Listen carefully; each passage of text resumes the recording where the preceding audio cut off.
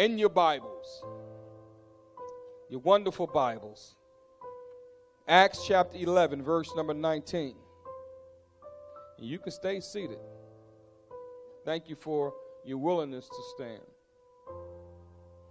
You know what? I've been, I, have it's been, my wife said, stop saying. It's been, it's been said that I had a standing ministry. Sister, I have a sitting ministry now. Amen. I'm going to have you sit down on the word. Y'all didn't like the way that sounded, did you? I'm going to have you sit down on the word. no. Now, they, at verse number 19, I believe I said that already, I'm not sure. Acts 11 and 19.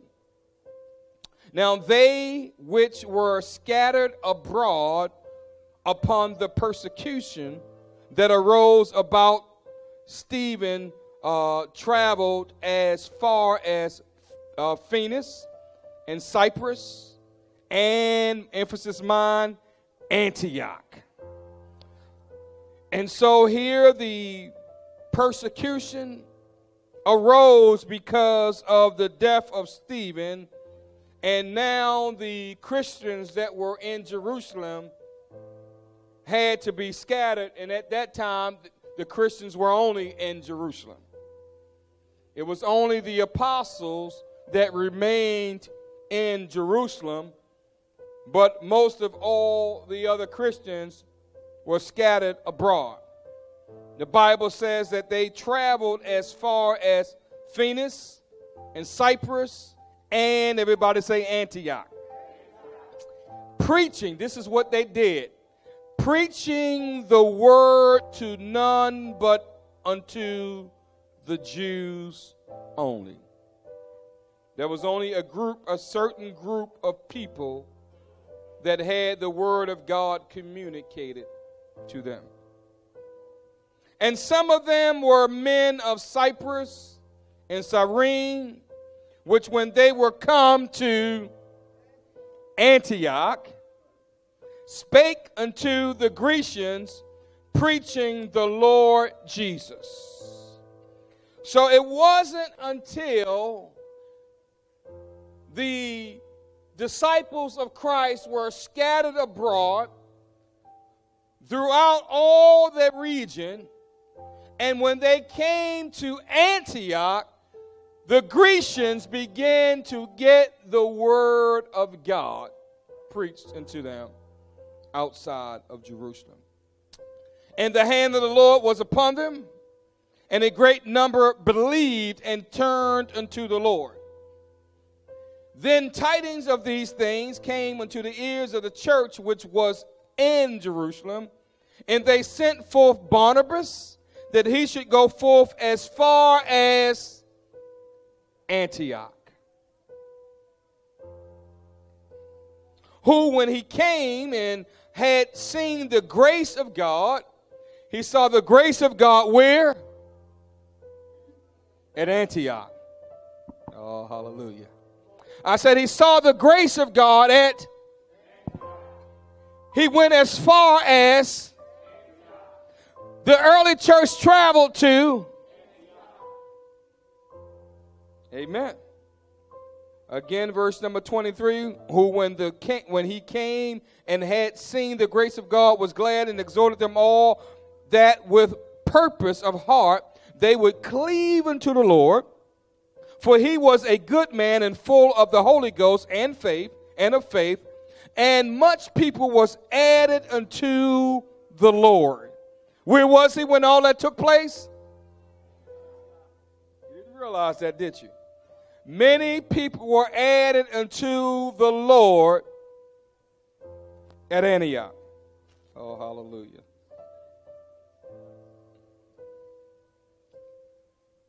Continue on. Verse number 25. Then departed Barnabas to Tarsus for to seek Paul or Saul. And when he had found him, Paul or Saul of Tarsus, Barnabas went to Tarsus to seek Saul. And when he had found him, he brought Saul unto where? Antioch. And it came to pass that a whole year they assembled themselves with the church and taught much people, and the disciples were called Christians first in Antioch. I want to preach to you this night on our heritage. Antioch, the Apostolic Church. You need to understand this is what we were birthed for. This is what we were born for. This is what we came into the kingdom of God for. You want to know who you are? You are Antioch. You have a heritage. Hallelujah.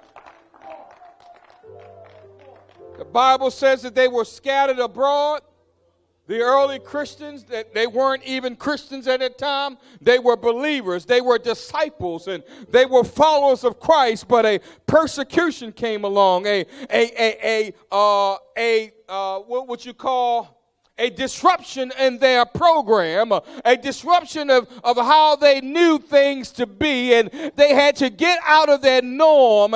They had to get out of what they, they, they were comfortable with, out of their comfort zone, and they had to get out of the places that they were familiar with, and now they had to embark on something new and something different. It wasn't a comfortable place for them to be in, it was a strange place for them to be in, and now God is saying, I'm going to do something something new. And I have a plan for my people. And my people now are going to be called Christians at Antioch. My people are going to know that I'm going to do a great work and now I'm going to do something different. I'm not going to limit this thing just to a small group, a small nucleus of people called the Jews. I'm going to tell you, everybody's going to get some of this.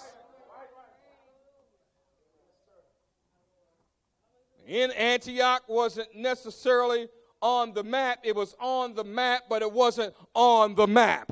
It was on the map, and when, when people looked and rolled out a map, but what was Antioch? Who was Antioch? It was just another place. It was just another city of the Gentiles. It was another place where Grecians would dwell. But it was the place where God said, Hey, I'm going to send my gospel, and it's going to go further and beyond the regions and the range that it went before. I'm going to send it to the Grecians. I'm going to send it to the barbarians. I'm I'm going to send it throughout all the earth. Even the Romans going to receive what I have.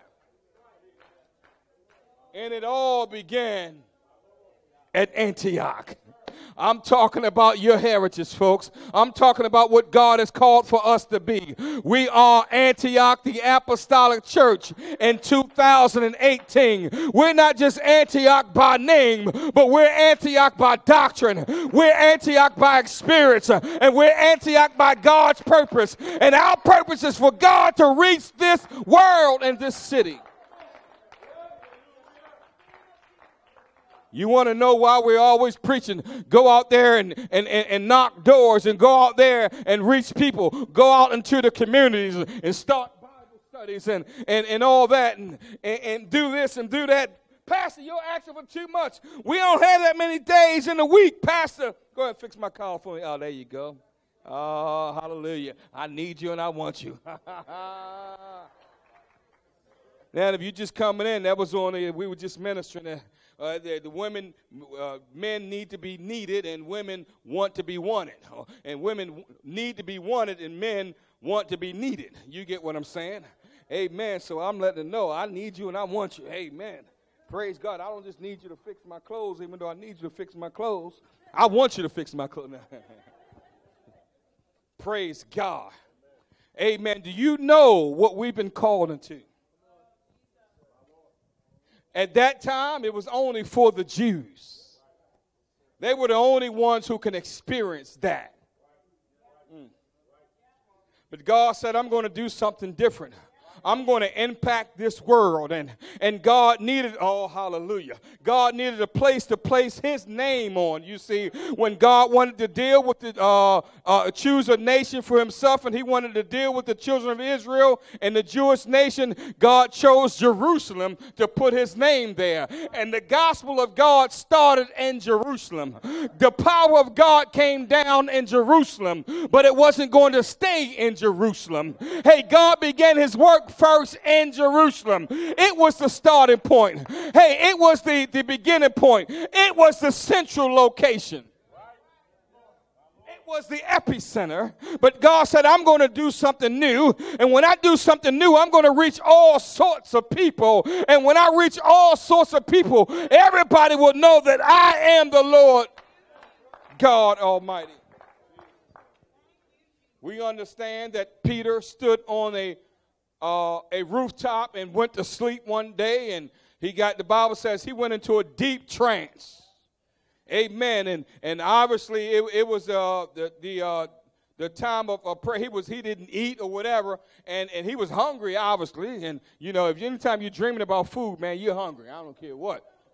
And the Bible says, man, uh, he was laying there. He went into a deep trance, and God uh, allowed a sheet to come down, and, and in the sheet were all sorts of animals. And, and, and, and Peter said, hey, all, and it was all sorts of beasts, uh, four-footed beasts that, that, that, you know, he didn't eat those type of beasts. You know, they were like rabbits and all that. Man, he didn't eat rabbits, too, you know, because he was a Jew. I'm sure they had swine up in that camp and falling down. He said, no, I don't eat that kind of stuff. Hey, I don't mess around with this. I don't mess with that. We can only eat certain type of foods. And God said, No, I want you to eat. I want you to rise. I want you to kill. And I want you to eat. And Peter said, No, no, no. You know I haven't eaten anything like that before. And three times God said, Hey, I want you to rise, I want you to kill, and I want you to eat.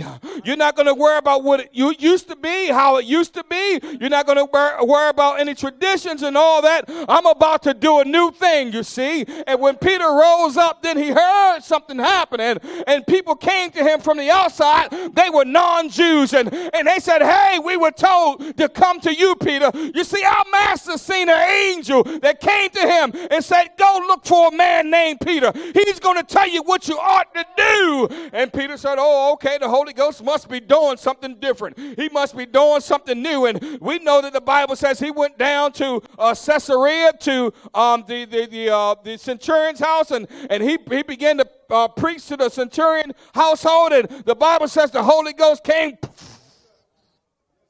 on all that heard the word. I'm telling you what, there's going to be some days that God's going to lead you out there and people are going to be listening to what you had to say and the Holy Ghost is just going to fall on them and they're just going to begin to speak in other tongues. Do you believe that? Oh, hallelujah.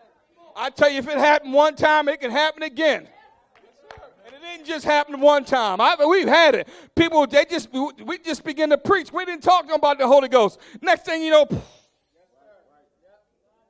God said, I'm going to do a new thing. And, and we understand God was trying to say, I'm going to reach people beyond your, uh, your expectation. I'm going to reach people beyond your limit. I'm, I'm going to send you forth into areas that you didn't know about. And, and, but, and that was just a little taste of what God would do. But when God began to, to, to do that thing in mass numbers, he used not Jerusalem, not Caesarea, but he used Oh, hallelujah. I know God said, I'm going to put my name on Jerusalem. It's going to be for my people who dwell in Jerusalem. It's going to be for the Jews. But I'm telling you what, when I do this new thing among all the Gentiles, I'm going to put my name on another city, and it's going to be massive harvest is going to break out. It's not going to be stuck in Jerusalem. I'm going to send it forth throughout all the worlds, and it's going to begin. I'm going to change the name of my disciples. They will not no longer be called disciples, that they will be called Christians first at do you know your heritage? Do you know where you come from? Do you know what you're a part of? Here, O Antioch. What? Now the word is God going to all these people? Yes, it's going to all these people. Let me tell you, Antioch wasn't on the map, but now it's on the map. I'm going to tell you, Baltimore is not on the map yet, but Baltimore will be on the map because Antioch is here. Antioch is in Baltimore. Antioch is in Harford County. Antioch is in Baltimore County. We are Antioch. We are Antioch, the Apostolic Church. You better know your heritage. You ought to know where you come from. It's written in the Bible. God has chosen you and ordained you to be something great in this earth in this last day. We are Antioch of this last day.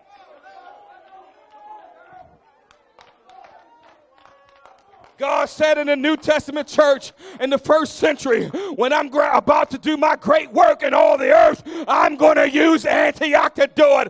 I got news for you. God said in the last days, I'm going to pull out of my flesh my spirit on all flesh, and it's going to begin at.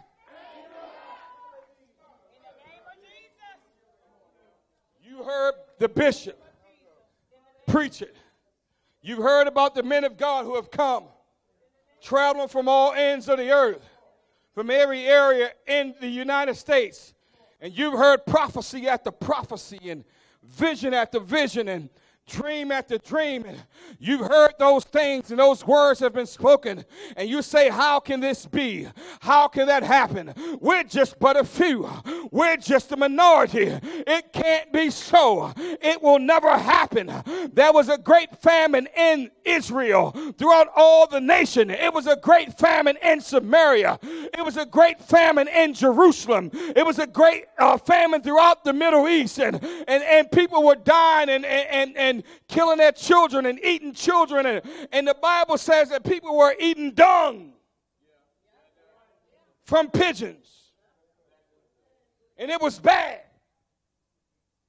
To the place where one woman killed her son, shared it with her neighbor, and they ate it. And they were supposed to eat the other woman's son after that. And the king said, Oh, what in the world is going on? I'm going to get the prophet, the man of God, because he's the one who started this thing, because there he's the one who said, I don't want any rain, and it wasn't any rain. And then the famine came. But then God said, I'm about to do something. And the prophet said, I want you to know this, about, this is about to break. Something is about to happen. God is going to do something great. Oh, I don't know if that's going to happen. I'm telling you, Antioch, you've been hearing that some great things are going to happen, but you can't believe it. And God said, Oh, I'm about to do it. The man of God said, God is about to do it. And you've been saying, I've been hearing that, but I hadn't seen anything. And God said, I'm telling you what, I'm about to do it. And there were four leprous men at the gate. And they said, The leprous men said, Hey, if we just stay here, we're going to die. If we just sit here, we're going to die. If we go in there with those boys, you know they're going to kill us because they're righteous and they don't want any lepers around. And maybe we'll just go to the enemy's camp. And hey, if they're going, we're going to die anyway. Maybe we'll go out there and let's just see what God's going to do. Those men were just the linchpins of what God was going to do. Let me tell you something. You don't know when God is going to pull a linchpin. It may be something insignificant. Oh, how's God going to do it? I don't know how He's going to do it. That day, He just used four leprous men and said, I just want you to start marching. I want you to start moving, and I'm going to do something. I, oh, they didn't go inside of the uh, where the people of God was. They went to the enemy's camp. Maybe they just take four weak people in there. I'm not saying that you're weak. Maybe you feel that way, and you say, you know what? I don't know. Maybe God will do something. We're going to go to the enemy's camp. We're going to go out there, and maybe God's going to, and maybe that's going to be the linchpin that causes this thing to break loose. We are Antioch. We have a heritage. And let me just say it this way. Sometimes you may feel like you're the tail. We're not central. Hello? But we are Antioch. We're not west. But we're Antioch.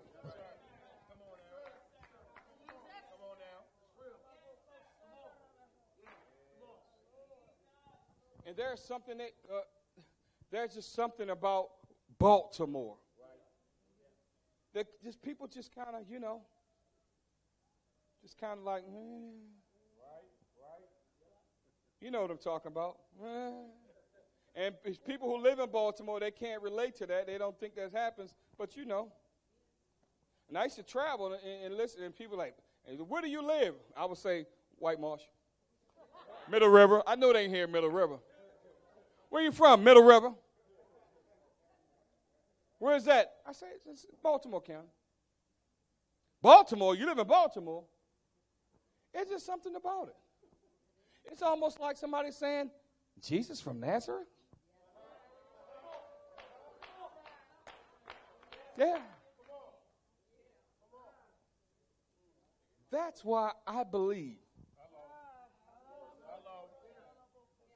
That's why I believe God is going to do a great work. And he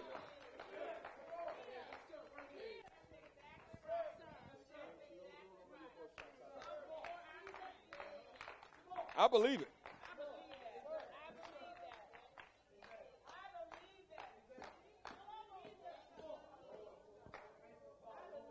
Hallelujah. You need to believe it. We have a heritage. We are Antioch. You're just as much as Antioch as Central. You're just as much as Antioch as, uh, as West. Hey, we're one church. We're one body.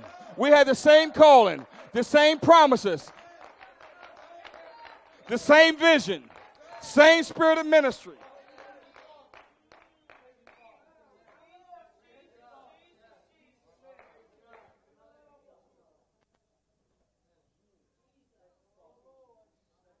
You have the same purpose. So I'm declaring there used to be one thing that was said. And I wasn't around then. I know Elder Valley was around then. I think Sister Valley, you probably were. You was probably part of the uh, McIntyre Church, Brother McIntyre, Elder McIntyre, during that time. Uh, but uh, I think it was here, uh, here rises Antioch. Is that what it was, right? Here rises. I think you. I don't know if you were. I know you were because you were you in Antioch when you were a little child, weren't you? I think she's the longest standing Antioch member around. Right? You went to Antioch school, you taught in How long how long you been in Antioch? How long has it been? 89. You came in 89? I think he was here. He's 83, 81. 81. So he was there. So eight, eight, 1981. Man, you old, man. no, you must have came when you were a little boy, baby boy, wasn't it? That's what it was. Here rises Antioch. This building right here, set for two years, untouched. Untouched. And we were looking for a building, some of you know. And I looked, and someone told me, hey, there's a building right down the right there here on 25th Street. I said, Yeah, I rode past that building. He said, Yeah, what, what you think about it? Yeah, just keep looking, brother. I saw the price on that building. I was like, we won't get in that building. Not with not the price that I saw. That's not going to happen. They were asking for two million. Um, you try to get a building with 14,000 square feet in Baltimore. Yeah. You try to get a building with 14,000 square feet. All right? This building is over 14,000 square feet inside of Baltimore City. But hold up. We didn't pay 2 million. We didn't pay 1 million. We didn't pay 500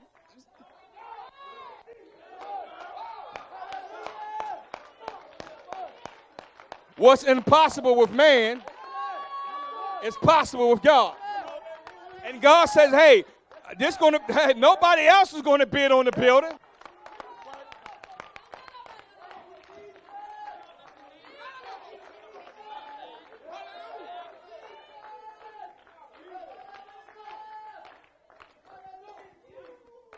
And I was like, no, that's not going to happen, brother. We better look at something else. So I get a call from Pastor David Wright and from Bill Benner. And um, I was looking at buildings, and they were looking at buildings, and I was traveling around and saying, "Oh, this building, that building." We looked at a number of buildings, and he said, "What you think about that building?" And I said, "Well, yeah, I, I looked at it and I saw it. The price is kind of high. Well, we're going to meet the guy, so meet us here." I'm like, "Okay." And the whole time we got got here to the building, and You know, I was at other places we went. I was like, yeah, yeah, this, that, and everything else. You know, and knowing where the price was and everything else, and like, okay, we got in this building. I know it need work. I know it needed work, and and we we've come a long way. I, you know, hey, and we still going to work, and and one day all the paneling is going to be gone. We're going to have sheetrock. And I believe, you know, you're not going to have to scrounge or whatever. I believe God's going to bless us. I've been praying for the spoils of Egypt. The treasures of darkness, as he said, you can have. And I walked through. He said, well, you know, I walked through. We, we went. It's like I went to this space and went in there and went there. I'm looking all over. Man, this is a big building. We can do a whole lot with this building. Yes, it needs some work, but it, and and and he said, well, you you don't look like you too. Um, Bill said, you don't look like you too thrilled. You don't you don't like Bill. I yeah, and, and uh, so Pastor Wright, Pastor Wright said, he said, uh, yeah, I know, I know what he's thinking. Like he, he not, he not trying to get his hopes up high. I said, you got that right. A few months later. Now, in April, April of uh, April the 29th, we will be celebrating our third year anniversary here.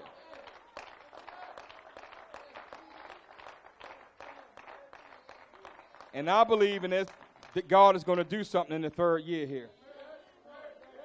Oh, hallelujah.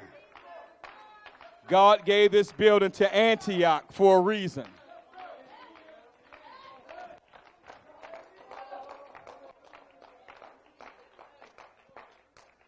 We looked in um, Baltimore County, out in Parkville, uh, we looked all over, right in the, what is it, Moravia, uh, Frankford area, I guess Gardenville area. We was kind of looking all over the place trying to see what God would do. And what I like about this building, meaning its location, first of all, we smack dab right in the center.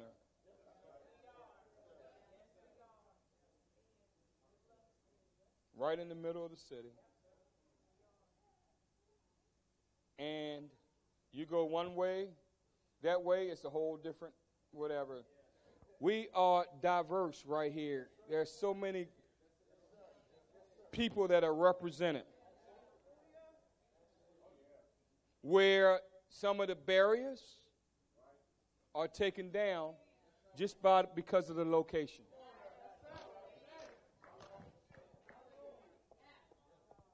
And we are already beginning to see barriers broken.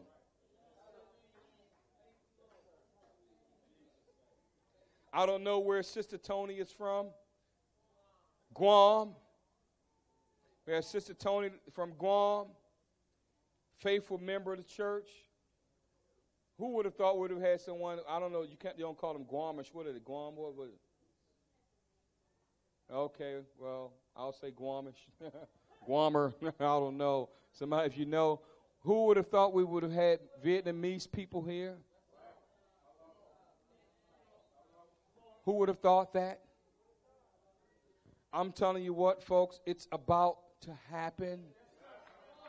Not because of what we are individually or who we are individually, but because God called us to be a part of Antioch to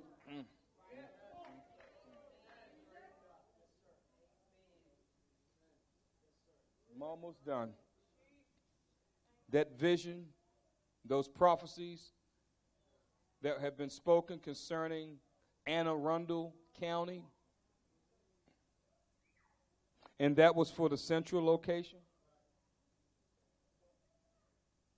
But there have been promises concerning Baltimore, this location. We've been we've started praying for other counties. Uh, it's first started in Harford County, and I believe we probably have a good maybe 15 people uh, that attend our congregation from Harford County alone. Maybe maybe more. You got all the whole digs. It's about 15 digs anyway, right? I'm including the ones that don't come yet. Yet.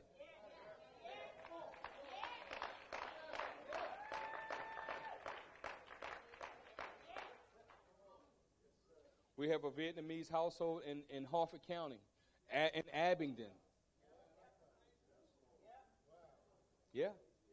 We baptized some of the family members. We have sister right here from Abingdon. Mm-hmm. See, I, I, knew I was in the will of God when I moved out to Abingdon.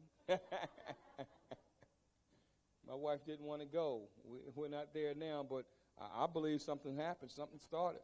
Edgewood. We have people from Edgewood, different, and we have more people that we're connected to in Edgewood, family members and stuff like that. This, these folks are from Edgewood right now, and I know there are a number of people that are not here that's a part that's from Edgewood. Stand up if you're from Harford County. And again, this is not all. The uh, the man you were, he's he's from Harford, and there are more people. That's probably more that are not here that are here. And we have uh, Sister Tony, etc. Go ahead and be seated. Oh, let me tell, share this with you. And this, can I share this? You know, I'm talk, looking at you because you know I'm great going. So I, I get an e- uh, email ch- uh, chain. They, uh, Sister Nakina Brown and Sister um, Tony uh, from Guam, they started a Bible study on the Aberdeen Proving Ground.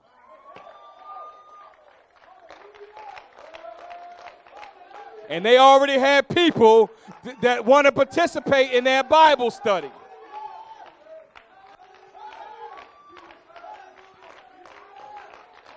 Their supervisor gave them permission. They got a room to use. They got people who already want to participate in the Bible study.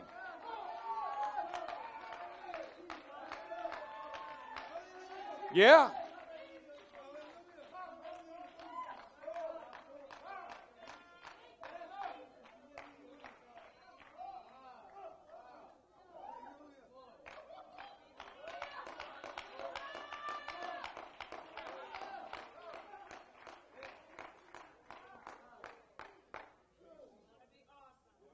There are no limitations to what God is doing and what He will do. I just want to remind you tonight, folks, you may feel detached. Many of us have spent much time, many hours at 1535 Ritchie Highway and you may feel isolated. But hear me today, hear me tonight. We're not. And really soon, if it haven't, uh, it may have already happened, that those who don't even go on the hill have never been on the hill, or maybe only go infrequently. They weren't born on the hill, they were born here. I'm talking about born spiritually. That number is going to overtake Now, I'm going to do this. If you started attending this church since we've become a congregation and all our services have been here, I want you to stand up. And I know most people come on Sundays. I didn't say that clearly enough. I'm going to say it really clear. You may have visited the hill. But when you first started coming to church here, it was Sunday morning services and Sunday evening services in this building. Stand up.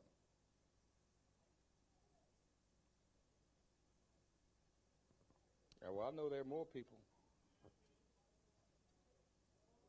Let me put on my glasses. Keep standing. Keep standing. Keep standing. All right. And you can just wave your hands. Sister Shalonda, you can wave your hands. I'm telling you right now, this is just a Sunday night. Sunday mornings, we are going to be the minority really soon.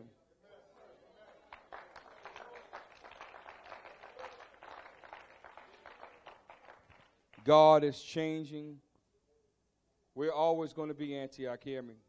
Always going to be one church. But he's changing the dynamic, and you all can, everyone can stand. He's changing the, the dynamic of this congregation